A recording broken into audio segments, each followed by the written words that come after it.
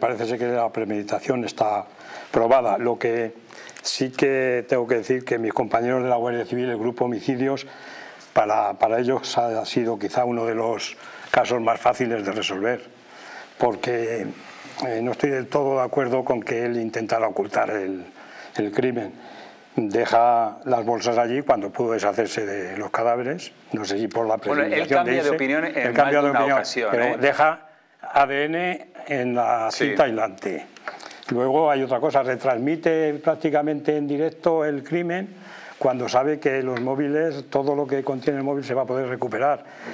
No, no, lo, lo borra todo, pero lo que no puede borrar es el receptor eh, que lo recibe. Lo podía también haber borrado y lo podía haber tirado al mar. Sí, como efectivamente, pero da la, sensación de que, da, da la sensación de que él, de alguna manera, no tiene la intención de borrar todas las, las- las huellas. Él lo hace un poquito y...